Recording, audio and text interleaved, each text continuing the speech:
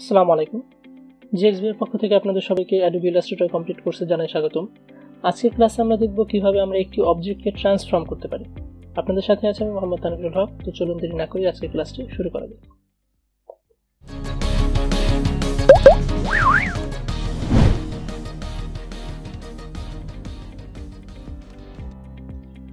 তো ট্রান্সফর্ম করার ক্ষেত্রে শুরুতেই আমাদের যেটা জানতে হবে যে ট্রান্সফরমেশন আসলে কি? ট্রান্সফরমেশন আসলে কি সেটা বোঝার জন্য যদি আমরা একটি শেপ ক্রিয়েট করি এখানে তো এই শেপে ক্রিয়েট করার জন্য একটি শেপ টুল যে কোনো শেপ আপনি ক্রিয়েট করতে পারেন। ক্রিয়েট করার পরে একটি শেপ এখানে কি হলো? ক্রিয়েট হলো।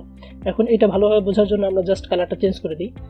তো আরেকটা বিষয় হচ্ছে যে কালার এখানে। আমার এখন ফিল কালার আছে হচ্ছে হোয়াইট কালার আমি যদি একটু আর্টবোর্ডে বাইরে নিয়ে আসি, কারণ আর্টবোর্ডের কালার হচ্ছে আমার হোয়াইট আর শেপের কালার হোয়াইট যে কোনো বোঝা যাচ্ছে না। তো আমি যদি আর্টবোর্ডে বাইরে নিয়ে আসি, তাহলে দেখি যে হ্যাঁ আসলে এই শেপটার ফিলে যে কালারটা আছে, সে কালারটা হচ্ছে আপনার হোয়াইট তো আমরা যদি কখনো কোনো শেপের কালার যদি এক্সচেঞ্জ করতে চাই, যে স্ট্রোকে যেটা আছে সেটা ফিল হবে ফিলে যেটা আছে সেটা স্ট্রোক হবে। তাহলে সিম্পলি আমরা দেখেন এই কালার প্যালেটের উপরে একটা কি আছে অ্যারো সাইন আছে, উপরের দিকে একটা অ্যারো নিচের দিকে একটা অর্থাৎ কি সোয়াপ করতে পারি আমরা কালার যদি আমরা এটাকে হচ্ছে কি রেড করে দিই সম্পূর্ণ, এবং স্ট্রোকের ওয়েটটাও যদি আমরা একটু বাড়াই দিই, তাহলে ইজিলি বুঝতে পারব। তাহলে এখন কি স্ট্রোকের ফিলে আসে হচ্ছে রেড কালার স্ট্রোকে সরি অবজেক্টের ফিলে আসে হচ্ছে আপনার রেড কালার আর স্ট্রোকে আসে হচ্ছে ব্ল্যাক ব্ল্যাক কালার তো আমরা যদি এটাকে সিলেক্ট করে সোয়াপ করি, তাহলে হচ্ছে কি কালারটা এক্সচেঞ্জ হয়ে গেল। যে ফিলে আছে এখন ব্ল্যাক স্ট্রোকে আসে রেড তো আমাদের স্ট্রোক কালারটা প্রয়োজন হবে না, আমরা স্ট্রোকটা তো অফ করে রাখি। তো এই অবজেক্টের ক্ষেত্রে অবজেক্টটাকে যদি আমাকে ট্রান্সফরমেশন ট্রান্সফর্ম করতে হয়, তাহলে আমরা কী কী ট্রান্সফর্ম আসলে করতে পারি? তো এটা মূলত হচ্ছে কি, এটা কী কী ট্রান্সফর্ম করতে পারব? এটা আমরা ছোট বড় করতে চাই, করা প্রয়োজন হতে পারে। যে অবজেক্টটা আমার ছোট করা প্রয়োজন বা বড় করা প্রয়োজন, অথবা এই অবজেক্টটার হচ্ছে আমার কী করা প্রয়োজন রোটেশন রোটেট করা প্রয়োজন, তারপরে হচ্ছে এই অবজেক্টে একটু বাঁকা করার প্রয়োজন। তো এই যে যে এডিটের যে অপশনগুলো অর্থাৎ এই অবজেক্টটাকে আমরা একটু ম্যানিপুলেট করতে চাচ্ছি, তো ম্যানিপুলেট করাটাই হচ্ছে কি আমার কি বলে সেটা? ট্রান্সফরমেশন এখন ম্যানিপুলেট বলতে তো আমরা কি ডাইরেক্ট সিলেকশন টুল দিয়েও কোনো একটা পয়েন্ট ম্যানিপুলেট করতে পারি, কিন্তু এটা কিন্তু ট্রান্সফর্মের আওতাভুক্ত নয়। এটা কি আমরা সরাসরি সম্পূর্ণ শেপটার যে গঠন ছিল, গঠন কিন্তু আমরা একদম মানে কাস্টমভাবে চেঞ্জ করে ফেলছি। তো কাস্টমভাবে চেঞ্জ না, আমরা হচ্ছে কি ডিফল্ট যে শেপের গঠন আছে, সেই গঠন রেখেই তার ট্রান্সফর্ম কীভাবে করা যায় সেটা দেখব। তো এটা করার জন্য এটা কি আমার একটা অবজেক্ট আমি অবজেক্ট মেনুতে যদি চলে যাই মেনুতে গেলে প্রথমেই দেখা যাবে কি আছে? ট্রান্সফর্ম তো ট্রান্সফর্মের মধ্যে কি কি আছে? মুভ অর্থাৎ আমি একটা অবজেক্টকে অবজেক্টের পজিশন চেঞ্জ করতে পারি, যে এর পজিশন এখানে আছে, পরবর্তীতে গিয়ে ওখানে থাকবে। দেন রোটেট করতে পারি দেন রিফ্লেক্ট করতে পারি। দেন হচ্ছে কি স্কেল করতে পারি শেয়ার করতে পারি। আর হচ্ছে এখানে দেখেন move rotate reflect scale shear এখন এই জিনিসটার যে ট্রান্সফর্মের যে কাজটা, এটা কিন্তু আমি ট্রান্সফর্ম মেনুতে না গিয়েও ইজিলি করতে পারি। সেটা কি হবে? সেটা হচ্ছে আমরা যদি সিলেকশন টুল দিয়ে ক্লিক করি, তাহলে দেখেন আমার কি এই শেপের চারপাশে, চার কর্নারে চারটা এবং প্রত্যেকটা বারের মিডিলে আবার একটা করে। অর্থাৎ টোটাল আটটা পয়েন্ট আছে। এই পয়েন্টে গিয়ে যদি আমরা পয়েন্টের উপরে মাউসের কার্সারটা রাখি, তাহলে দেখেন কি মাউসের কার্সারের দুই পাশে একটা অ্যারো সাইন অর্থাৎ কি এখন আমার এটা শো করতেছে যে আমি চাইলে এখন এটাকে এইভাবে ছোট বড় করতে পারি সাইড থেকেও ছোট বড় করতে পারি কর্নার থেকেও ছোট বড় করতে পারি, উপর থেকেও ছোট বড় করতে পারি। এবং যদি আমি হচ্ছে প্রপোর্শন মেনটেন করে ছোটো বড় করতে চাই, যে যেই সাইজ আছে সেই সাইজের প্রপোর্শনটা মেনটেন করেই ছোটো বড় হবে, তাহলে আমরা সিম্পলি কি? শিফট প্রেস করে যদি ছোটো করি, তাহলে চারপাশ থেকে সমানভাবে ছোট এবং বড় হবে। আচ্ছা আরেকটা বিষয় হচ্ছে আমাদের মেবি মিস হয়ে গেছে, সেটা হচ্ছে যদি আমরা শেপ যখন ক্রিয়েট করব, তখন কি আমরা শিফট ধরে যদি ক্রিয়েট করি, তাহলে আমরা জানি, এটা দেখছিলাম যে শিফট ধরে ক্রিয়েট করলে হচ্ছে প্রপোর্শন একটা নির্দিষ্ট সাইজ হাইট এবং ওয়াইট সেম থেকে আইটেমটা ড্র হবে। কিন্তু যদি আমরা চাই যে কোনো জিনিস আমরা সেন্টার থেকে, যেখানে আমি মাউসের কাজটা দিয়ে ক্লিক করতেছি, আমি যদি এখানে ক্লিক করে ড্র করি, তাহলে এখান থেকে শুরু হয়েছে এবং নিচের দিকে যেহেতু টানতেছে, তাহলে শেপটা নিচের দিকে তৈরি হচ্ছে। কিন্তু আমি যদি চাই যে আমি যেখান থেকে মাউসের কাজটা দিয়ে ক্লিক করছি, তার সেন্টার সেই সেটাকে সেটাকে সেন্টার মেনটেন ধরে সেন্টার হিসেবে কাউন্ট করে আপনার শেপটা ড্র হবে, তাহলে আমরা অল্টার প্রেস করব। তাহলে অল্টার হচ্ছে কি, আপনার সেন্টারকে মেনটেন করবে। আপনি যদি কোনো কিছু সেন্টার থেকে ছোট, বড় বা সেন্টার থেকে ড্র করতে চান, তাহলে আপনি অল্টার প্রেস করে করবেন। আর যদি চান যে আমি সেন্টার মেনটেন করব এবং তার সাথে প্রপোর্শনও মেনটেন করবে, তাহলে অল্টার তো আমরা ধরেই আসি তার সাথে শিফট ধরবে। তাহলে কি সেন্টারও মেনটেন করতেছে, এর প্রপোর্শনও মেনটেন করতেছে। তো এটাকে আমরা ছোটো বড়ো করা দেখলাম হ্যাঁ যে ট্রান্সফর্ম থেকে আমরা ইজিলি সিলেকশন টুলে ট্রান্সফর্ম মেনুতে না গিয়েই আমরা করতে পারি, ছোটো বড়ো করতে পারি। এবং যদি রোটেশন দেখি, যে আমরা যদি একটু কর্নারে যাই বা প্রত্যেকটা পয়েন্টের উপরে যখন ছিলাম, তখন আমরা স্কেলিং এর অপশন পাইছিলাম। যদি একটু উপরের দিকে যাই, তখন আমার মাউসের কার্সারটা একটু একই কারসার আছে, কিন্তু কিছুটা রাউন্ডের অবস্থায় আছে। তার মানে এখন যদি আমি এটাকে ঘুরাই, তাহলে আমি আমার অবজেক্টটাকে রোটেট করতে পারব, যেভাবে আমার প্রয়োজন। সেম লজিক এখানে, যদি আমার রাউন্ডনেসের যে ভ্যালু সেটাকে ফিক্সড রেশিওতে ঘুরাইতে হয় রেশিও মেনটেন করতে হয়, তাহলে যদি আমরা শিফট ধরি, তাহলে প্রত্যেক শিফট ধরে রাখলে আমরা fifteen degree sorry forty five degree অ্যাঙ্গেলকে maintain করব। যে এখন আছে জিরো ডিগ্রিতে দেন যদি শিফট ধরে রাখি আমি ঘুরাই, তাহলে ফোর্টি ফাইভ ডিগ্রি দেন আবার ঘুরাই নাইনটি ডিগ্রি আর যদি শিফট ছাড়া ঘোরান, তাহলে হচ্ছে কি আপনি ইজিলি যে কোনো ভ্যালুতেই কনভার্ট মানে রোটেট করতে পারবেন। তো এই হচ্ছে কি আমাদের স্কেল করতে পারলাম, আমরা রোটেট করতে পারলাম এবং মুভের যে অপশনটা পজিশন যে ইয়াটা, সেটা তো আমরা সিলেকশন টুল দিয়ে ইজিলি যে কোনোভাবে করতে পারি। কিন্তু যেহেতু আমরা এখান থেকে করতে পারতেছি, তাহলে কেন আমাদের এই অবজেক্টে গিয়ে করার প্রয়োজন হবে বা অবজেক্টে কেনই বা দিছে? প্রত্যেকটা জিনিস মেনুতে আছে, দুইটা একাধিক ওয়ে থাকে সব কিছু করার। কিন্তু এখানে কি আমরা একই সাথে সব কিছুই করতে পারছি মুভও করতে পারতেছি স্কেলও করতে পারতেছি রোটেটও করতে পারতেছি। কিন্তু যদি আমরা ট্রান্সফর্ম উইন্ডোতে গিয়ে মেনুতে গিয়ে যদি ট্রান্সফর্ম করতে চাই, যদি মুভ আমরা ক্লিক করি, তাহলে এইখানে দেখেন আমি হচ্ছে কি একটা পপ আপ উইন্ডো পাচ্ছি যে আমার একটা অবজেক্ট আমি এখানে আছে, এখান থেকে এতটুকু নির্দিষ্ট, এতটুকু এরিয়াই সরবে। কারণ এখান থেকে যদি আমি সরাই, তাহলে আমি বুঝতে পারতেছি না যে এখানে যেই বক্সটা আসছে আমার মাউসের কার্সার এখানে বলতেছে যে কি এক্স অক্ষ বরাবর এটা এতটুকু দ্রুত সরতেছে। কিন্তু এখানে যদি আমার নির্দিষ্ট একটা ভ্যালু মেনটেন করে সরাইতে হয়, তাহলে এটা কিন্তু মেনটেন করা মাউস দিয়ে অনেকটা কষ্টকর হয়ে যাবে। যে কারণে যদি আমাদের কোনো ফিক্সড ভ্যালু সরাইতে চাই, আমরা যে ট্রান্সফর্ম মুভ করব মুভ করব কতটুকু? যে ভার্টিক হরিজেন্টাল বরাবর হচ্ছে আমি মুভ করব সাপোজ বিশ। এবং ভার্টিক্যাল বড় এবং ভার্টিক্যাল বরাবর মুভ করব আমি সাপোজ আরও বিশ।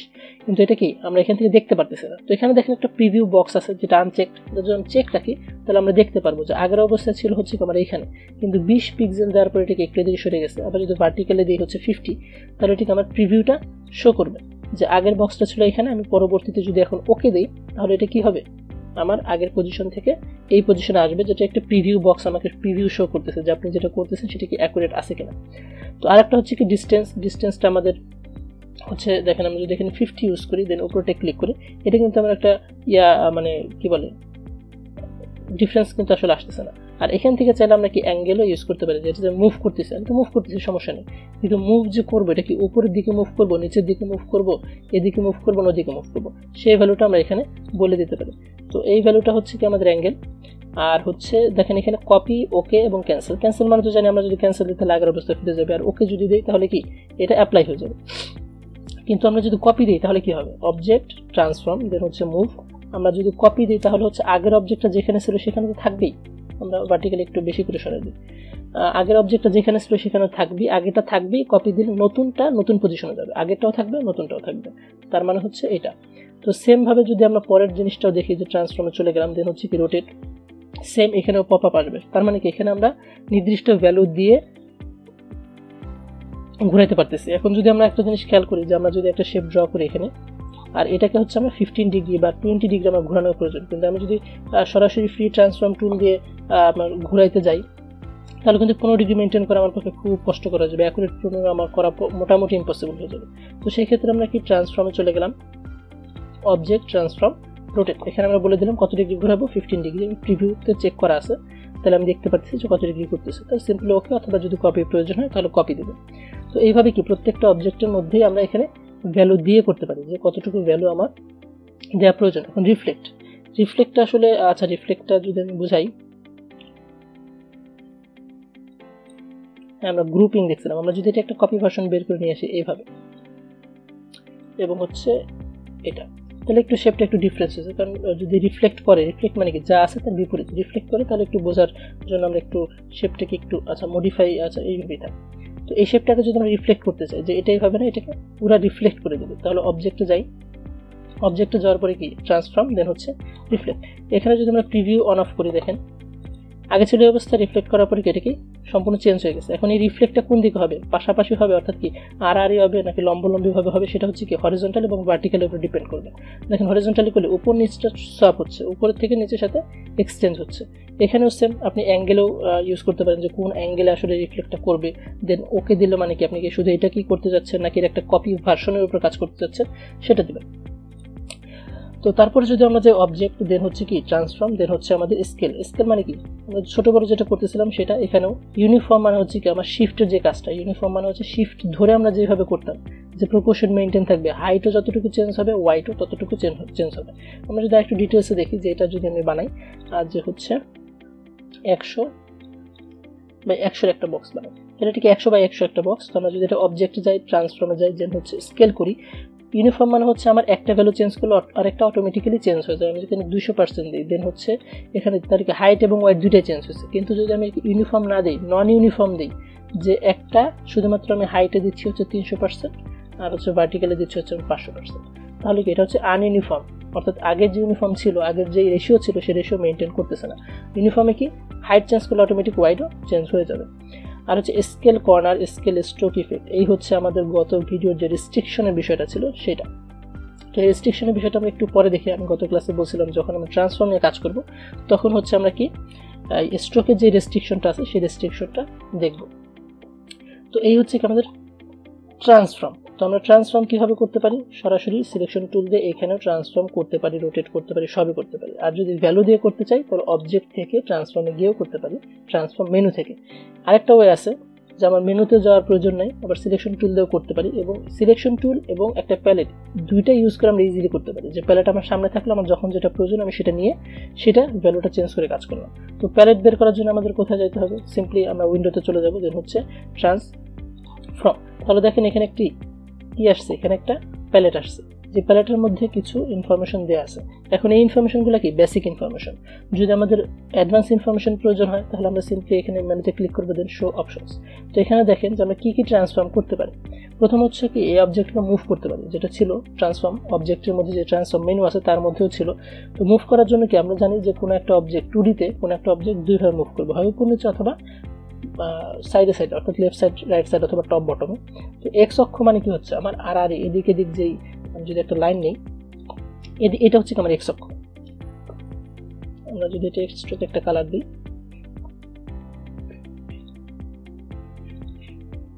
এবং স্ট্রোকের উইথ আমরা হ্যাঁ এটা দিয়ে আমরা ওই জিনিসটা আসলে দেখা হয়ে যাবে একবারে। তো এটা হচ্ছে কি আমাদের এক্স অক্ষ বরাবর। আর হচ্ছে কি আমাদের ওয়াই অক্ষ বরাবর হবে কোনটা? তাহলে এর বিপরীতটা তো এটাকে যদি আমরা সিম্পলি কপি করি control C control F then এটাকে আমরা রোটেট করতে পারি এখান থেকে কিন্তু প্রপোর্শন মেনটেন করি। তাহলে এটা হচ্ছে কি আমার ওয়াই অক্ষ, এটা হচ্ছে কি আমাদের এক্স অক্ষ। তাহলে এক্স অক্ষ বরাবর আমরা এখানে ভ্যালু দিয়েও চেঞ্জ করতে পারি যে এক্স অক্ষ বরাবর এটা থাকবে হচ্ছে আমার অ্যাকুরেট দুইশো পজিশনে এটা থাকবে হচ্ছে আমার পাঁচশো পজিশনে তো এটা হচ্ছে কি আপনাদের এক্স অক্ষ, যেটা আমরা সরাসরি সাধারণত টেনেই করি, আমরা এখানে কখনোই ভ্যালু দিয়ে আসলে এভাবে করি না। তারপরে আছে কি? এর স্কেল অর্থাৎ ছোটো বড় করার জন্য। ছোটো বড় করার জন্য কি আমরা হাইট অথবা ওয়াইট চেঞ্জ করতে পারি। যদি এটা কিন্তু এখন পারফেক্ট স্কোয়ার নাই। পারফেক্ট স্কোয়ার যদি আমাদের করতে হয় আমি যদি এখানে ভ্যালু দিই তিনশো দেন এখানে ভ্যালু দিই হচ্ছে আপনার তিনশো। তাহলে কি? এটা কি একদম পারফেক্ট স্কোয়ার শেপটা হয়ে গেল। এখন আপনার সাপোজ প্রয়োজন হচ্ছে যে আপনি এই শেপটাকে তিনশো না পাঁচশোতে কনভার্ট করবেন। কিন্তু যদি এখানে আপনি পাঁচশো লেখেন, তাহলে কি হবে? এটা কিন্তু প্রপোর্শন মেনটেন করে হবে না। জাস্ট আমি ওয়াইডের ভ্যালু দিয়েছিলাম পাঁচশো, তাহলে কি এটা পাঁচশোই শুধুমাত্র ওয়াইডে চেঞ্জ হচ্ছে হাইট চেঞ্জ হচ্ছে না। তো প্রপোর্শন মেনটেন করার জন্য যেই শেপটা যেই সাইজে আছে, সেই সাইজকে মেনটেন করে যদি আপনি এই প্যালেট থেকে ছোটো বড়ো করতে চান, তাহলে দেখেন এখানে পাশে একটা চেইনের বাটন দেওয়া আছে, যেটা এখন কি অফ যদি এটা অন থাকে, তাহলে আপনি হাইট চেঞ্জ করলে অটোমেটিক্যালি ওয়াইডও চেঞ্জ হয়ে যাবে বা ওয়াইড চেঞ্জ করলে অটোমেটিক হাইট চেঞ্জ হয়ে যাবে। যদি আপনার প্রপোর্শন মেনটেন করে ছোটো বড়ো করার প্রয়োজন হয়, তাহলে এটা কি চেকড রাখবেন? যদি প্রপোর্শন মেনটেন না করে ছোটো বড়ো করতে হয় জাস্ট হাইট অথবা ওয়াইড ছোটো বড়ো করতে যাচ্ছেন তাহলে এটা আনচেক রাখবেন। তারপরে দেখি হচ্ছে কোন কোন মানে কি? আমরা রোটেশনের বিষয়টা যে আমরা এখান থেকে রোটেট করতে পারছিলাম, তারপর এখান থেকে রোটেট করতে পারতেছিলাম। তো এখানে আমরা সরাসরি ভ্যালু বলে দিতে পারি যে আমার এটা কত ডিগ্রি রোটেট করার প্রয়োজন হবে। তো আমরা কি? ইজিলি ইজি হবে কোনটা? আমার সিলেক্ট মেনুতে না গিয়ে মেনুতে অনেক রেস্ট্রিকশন আসলে। মেনুতে কাজ ইজি কিন্তু সমস্যা হচ্ছে যে আমার আগে সিলেকশন টুল করতে হবে দেন হচ্ছে অবজেক্ট সিলেক্ট করতে হবে দেন অবজেক্ট মেনুতে যেতে হবে, তারপর আবার ট্রান্সফর্মে যেতে হবে, তারপর আবার যেটা দরকার সেটা করতে হবে। কিন্তু কি আমরা যদি শুধু সিলেকশন টুল অথবা সিলেকশন টুল এবং ট্রান্সফর্ম প্যালেট নিয়ে করি, তাহলে আমার এত যেই প্রসেস আছে যে এটার পরে এটা, এটার পরে এটা, এত কিছু করতে হবে না। আমি ইজিলি অনেক দ্রুততার সাথে এই প্যালেট এবং আমার সিলেকশন টুল দিয়ে ইজিলি কাজ করতে পারি। তারপর হচ্ছে কি রেক্ট্যাঙ্গেল প্রপার্টিস এখানে দেখেন আমার হচ্ছে কি পাঁচশো এবং পাঁচশো। এখানে যদি আমরা একটু চেঞ্জ করি আসলে এটা কি চেঞ্জ হচ্ছে, দেখেন এটাও কিন্তু কি রেক্ট্যাঙ্গেল প্রপার্টিস একেবারে হাইট এবং ওয়াইটের মধ্যে রেক্ট্যাঙ্গেল প্রপার্টিস এটা হচ্ছে আমার ইন্ডিভিজুয়াল একটা অবজেক্টের প্রপার্টিস আমরা যদি এখানে রেক্ট্যাঙ্গেল না নিই আমরা যদি এখানে হচ্ছে রাউন্ডেড রেক্ট্যাঙ্গেল নিতাম, তাহলে কিন্তু এখানে প্রপার্টিস দেখেন একটু না রাউন্ডেড নাম হচ্ছে দেখি সার্কেল সার্কেলের ক্ষেত্রে দেখেন, এই সার্কেল যেহেতু এক রাউন্ডের রেক্ট্যাঙ্গেল এবং রেক্ট্যাঙ্গেল একই জিনিস জাস্ট একটা রাউন্ডের একটা কর্নার তো এটার মধ্যে দেখেন যে অপশনগুলো আছে, এটার মধ্যে তার কিছু অপশন আলাদা আছে। তো এই অপশনগুলো কি? রেক্ট্যাঙ্গেল প্রপার্টিস হাইট এবং ওয়াইট তো অবশ্যই থাকবে। রোটেশন যেটা এখানে ছিল, এই রোটেশন সেম জিনিস। তারপরে হচ্ছে এখানে দেখেন চারটা অপশন দেওয়া আছে এবং মাঝখানে চেকড করা আছে। এই চারটা যে অপশন এই চারটা অপশন হচ্ছে আপনার অবজেক্টে দেখেন কয়টা পয়েন্ট চারটা পয়েন্ট এই চারটা পয়েন্টকে যেমন রাউন্ডেড রেক্টেঙ্গেলের ক্ষেত্রে আমরা কি রাউন্ড এই রেক্টেঙ্গেলে কিন্তু চারপাশে আপনার রাউন্ডেড করা। তো আপনি যদি চান যে আপনি কোনো অবজেক্টের বেসিক অবজেক্টের মানে যেটা হচ্ছে কি আপনার, আমাদের এই যে এগুলো হচ্ছে বেসিক অবজেক্ট এই বেসিক অবজেক্টের কণার যদি কখনো রাউন্ড কম বেশি করার প্রয়োজন হয়, তাহলে আমরা এখান থেকে করব। এখন এটা মানে কি? এটা হচ্ছে কি? লেফট টপ আমরা যদি আনচেক করি, শুধু আনচেক করি আগে দেন এখানে যদি ভ্যালু দিই ফিফটি তাহলে লেফট সাইডের টপের যে কর্নারটা ছিল সেটা ফিফটি পিক্সেল কী হলো? রাউন্ড হয়ে গেল।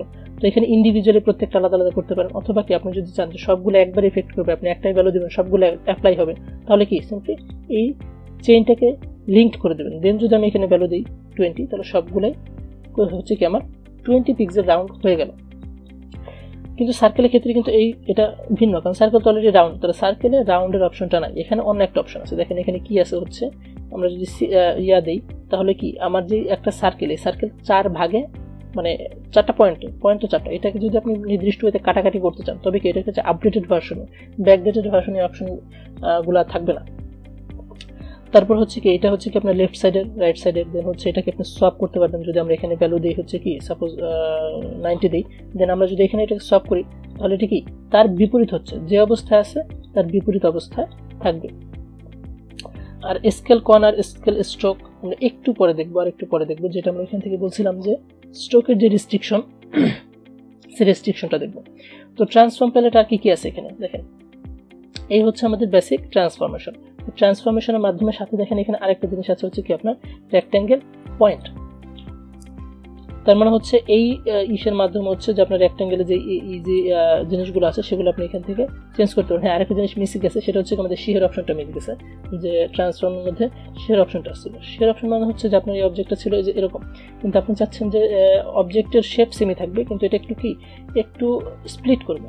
তো আমরা যদি এখানে ভ্যালু দিয়ে দিই যে টেন তাহলে দেখেন হালকা একটু স্প্লিট করছে। অর্থাৎ কি যে শেপ ছিল, সেই শেপটা স্প্লিট করছে। কিন্তু স্প্লিট করার সাথে সাথে দেখেন, এটা কিন্তু রেক্ট্যাঙ্গেলই ছিল। কিন্তু এর কর্নার যে আপনি এডিট করার অপশনটা পাইতেন ওটা শেয়ার করার পরে কিন্তু আর পাবেন না। কারণ কি, এটা কিন্তু এখন বেসিক শেপে আর নাই।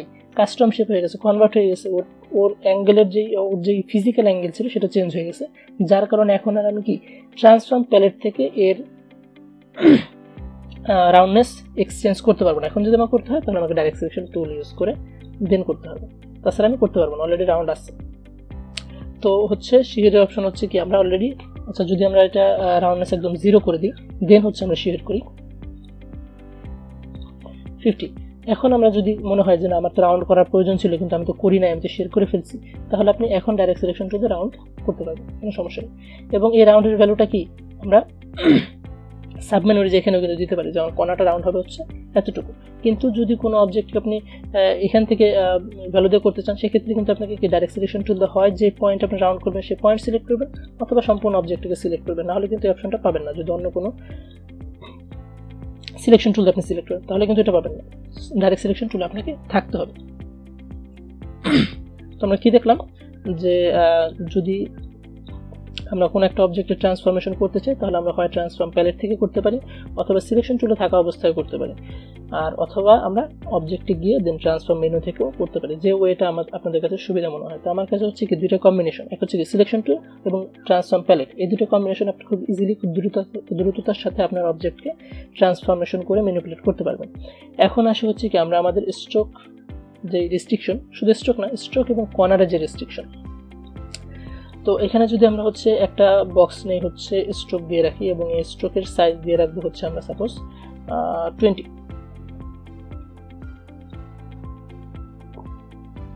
তো দেখেন এই বক্সটার সাইজ কিন্তু টোয়েন্টি আচ্ছা আমরা একটু ছোট করে এবং এটার ভ্যালু দিয়ে হচ্ছে আমরা টোয়েন্টি স্ট্রোকের সাইজ কত? স্ট্রোকের সাইজ আছে টোয়েন্টি এখন এখানে নিচে দেখেন যে স্কেল কর্নার্স এবং স্কেল ইফেক্ট এটা চেক থাকবে না ডিফল্ট অবস্থায় চেক থাকবে না।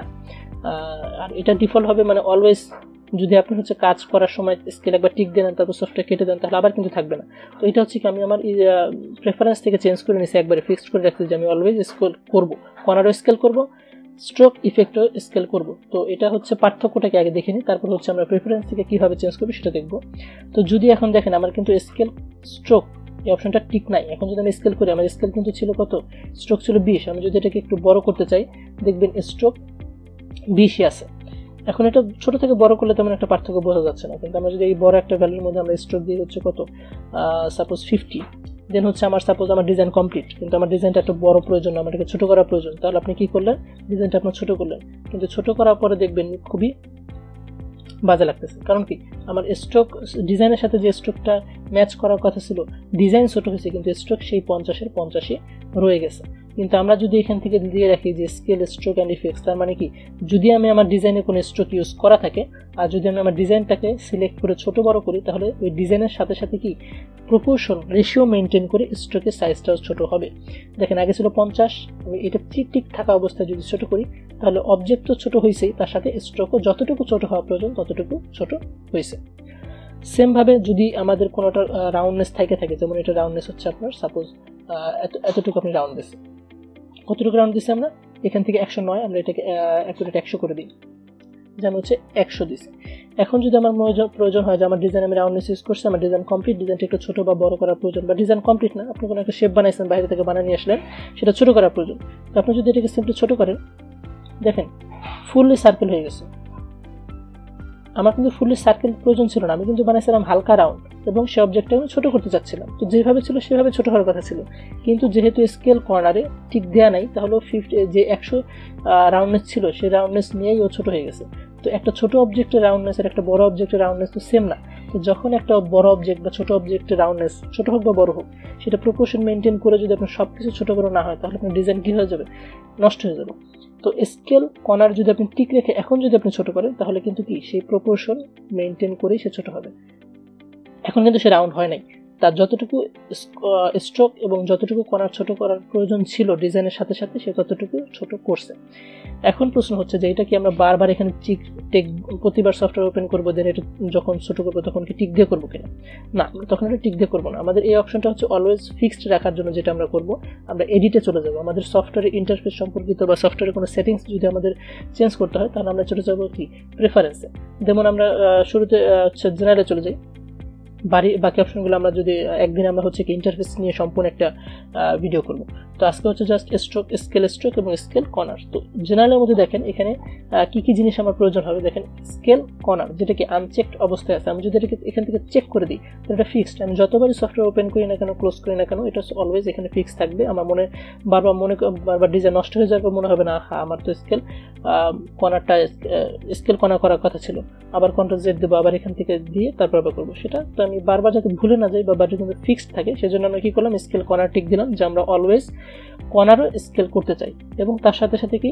আমি স্কেল করলে যেন আমার স্ট্রোক এবং ইফেক্টটাও স্কেল হয়। এবং ইফেক্ট যেহেতু আমরা এখন দেখি নাই, তো ইফেক্টের যেটা আমরা সেটা পরবর্তী যখন ইফেক্ট দেখব, তখন অটোমেটিক্যালি আপনার বুঝে যাবেন যে আসলে স্কেল ইফেক্ট তো করা প্রয়োজন হবে। কারণ কর্নার যেহেতু আপনার স্কেল করা প্রয়োজন হবে ইফেক্ট একটা বড় জিনিসের উপরে একটা যতটুকু ইফেক্ট প্রয়োজন, একটা ছোটো জিনিসের উপরে ততটুকু ইফেক্ট প্রয়োজন না। তো এটা কি আপনার মেনটেন করে ছোট, বড় করা প্রয়োজন। এবং আরেকটা জিনিস, এটা কি কর্নার এবং স্ট্রোকসের যে রিস্ট্রিকশন ছিল, যে আপনাকে স্কেল কর্নার এবং স্ট্রোক দুইটাই স্কেল করা প্রয়োজন হবে, যেটা আমরা প্রেফারেন্স থেকে ফিক্সড করে দিয়ে আসলাম। আরেকটা বিষয় হচ্ছে যে কখনো ডিজাইনের মধ্যে এটা আসলে আমরা এখনও ফুললি ওইভাবে ডিজাইন করি নাই। নেক্সটে আসলে বুঝবেন যে কেন আমি কথাটা বললাম। আমাদের ডিজাইনে আমরা স্ট্রোক ইউজ করা থেকে বিরত থাকব না, করব ইউজ করব, কিন্তু যতটা সম্ভব কম ইউজ করব। যদি ইউজ করার প্রয়োজন হয় তাহলে আমাদের ডিজাইন যখন কমপ্লিট হয়ে যাবে, আর যেই অবজেক্টের আমরা স্ট্রোক ইউজ করছি ডিজাইন কমপ্লিট হয়ে যাওয়ার পরে যে অবজেক্ট আমরা ইউজ করছি, ওই অবজেক্টটা সিলেক্ট করে এটা যে স্ট্রোক আছে স্ট্রোকটাকে ভেঙে দিতে হবে। দেখেন এখানে যদি আমরা এখন খেয়াল করি, এখানে রেক্ট্যাঙ্গেল আছে, আমরা এই বক্সটাকে সম্পূর্ণ বাইরে নিয়ে আসি। এবং এটার হচ্ছে কালার দিয়ে হচ্ছে আমরা রেড তো এখানে কি এখন দুইটা কালার আছে? তো স্ট্রোকটা ভাঙিয়ে দেওয়া মানে কি? এক্সপ্যান্ড করে দেওয়া মানে কি? এই স্ট্রোকটা ভাঙিয়ে দেওয়া মানে হচ্ছে স্ট্রোকটাকে শেপে কনভার্ট করে দেওয়া মানে কি? আচ্ছা আমরা একটু এক্সপ্যান্ড করি তাহলে বুঝতে যাবে একটা কপি পার্সন রেখে নিই আমরা। অল্টার প্রেস করে একটা কপি নিয়ে আসলাম। তো আমরা উপরেরটাকে যদি অবজেক্টে যাই দেন হচ্ছে এক্সপ্যান্ডে ক্লিক করি। তাহলে দেখেন এখানে আমার কাছে অপশন চাচ্ছে যে ফিল এবং স্ট্রোক তো আমার যেটা এক্সপ্যান্ড করার প্রয়োজন হয়, আমরা সেটা চিক রেখে টিক রেখে ওকে দেবো। তো আমার হচ্ছে জাস্ট স্ট্রোকটা এক্সপ্যান্ড করার দরকার। স্ট্রোক টিক দিয়ে আমি ওকে দিলাম। তো দেখেন এখানে কিন্তু চেঞ্জ হয়েছে। কি অবস্থা, কি চেঞ্জ হয়েছে? আগে ছিল শুধু রেক্ট্যাঙ্গেল যখনই আমরা এক্সপ্যান্ড করলাম, এটা একটা গ্রুপ হয়ে গেল। এখন এর মধ্যে দেখেন পার্থক্য চলে আসছে। এখানে দেখেন দুইটা। একটা হচ্ছে কি আপনার রেক্ট্যাঙ্গেল এবং আরেকটা হচ্ছে কি আপনার স্ট্রোকের যে এরিয়া ছিল সেটা দুইটা আলাদা আলাদা শেপ হয়ে গেছে এবং দুটো শেপের মধ্যে পার্থক্য হচ্ছে দেখেন এখানে। স্ট্রোক কিন্তু আপনি জাস্ট মাঝখানে লাইন পাইতেন কিন্তু যখন আমরা এক্সপ্যান্ড করছি তখন এই স্ট্রোকটা সম্পূর্ণ স্ট্রোকের যে ওয়েট ছিল সে ওয়েট নিয়ে সে কী হয়েছে? একটা নিজের, নিজস্ব একটা শেপ তৈরি করছে। এখন আপনি চাইলে ইজিলি ডাইরেক্ট সিলেকশন টুল দিয়ে শুধুমাত্র এই শেপটাকে ম্যানিপুলেট করতে পারবেন। অর্থাৎ কি স্ট্রোককে শেপে কনভার্ট করে দেয়। এখন এটা কেন করবেন? সাপোজ হচ্ছে আপনি একটা ডিজাইন করছেন, যেটার মধ্যে স্ট্রোক ইউজ করছেন এবং সেই স্ট্রোকটা আপনি কি করেন নাই? এক্সপ্যান্ড করেন নাই। আর হচ্ছে আপনি যে ক্লায়েন্টের জন্য কাজ করলেন বা আপনি যাকে আপনার ডিজাইনটা দিলেন, তার কম্পিউটারে হচ্ছে কি আপনার এই যে যে স্কেল স্ট্রোক স্কেলের যে অপশনটা এই অপশনটা টিক দেয়া নাই। আর সে যদি তার কম্পিউটারে ছোট করার চেষ্টা করে, যদি টিক দেওয়া না থাকে, আমরা টিকটা উঠে দিই, যে টিক দেওয়া নাই। সে যদি তার কম্পিউটারে ছোট করার চেষ্টা করে, তাহলে কি হবে? এটিকে ভাঙাটা, এটা ভাঙাটা না। তাহলে তার এই প্রবলেম ফেস করতে হবে। আর যদি এটা ভাঙা থাকে, যদি এটা ভাঙা থাকে, আর সে যদি ছোট করে, তাহলে তাকে এই প্রবলেমটা ফেস করতে হবে না। স্কেলে কনারের ক্ষেত্রে করতে হতেছে কারণ কি? কনারটা কিন্তু আমরা স্কেল টিক দিয়ে রাখিনি। তো স্ট্রোকের ক্ষেত্রে হবে কি? বিষয়টা এরকম হয়ে যাবে যে আপনার কি বলে?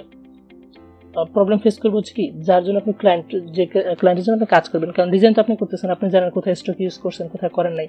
কিন্তু ক্লায়েন্ট তো জানবে না যে কোথায় স্টক ইউজ করছেন, কোথায় করেন নাই। তো এই প্রবলেম যাতে ফেস কেউ না করে, সেজন্য হচ্ছে কি, আপনি এটাকে যখন ডিজাইন কমপ্লিট হয়ে যাবে স্ট্রোক আপনি এক্সপ্যান্ড করে দেবেন। তাহলে স্ট্রোক এক্সপ্যান্ড করার পরে ছোট বড় করলেও কোনো সমস্যা হবে না। যেহেতু এটা এক্সপ্যান্ড করা, দেখেন ওটা আমি যতই ছোট করে না কেন প্রপোর্শন মেনটেন করি, ছোট হচ্ছে। তো এই জন্যই হচ্ছে আমরা স্ট্রোকটা এক্সপ্যান্ড করে দেবো।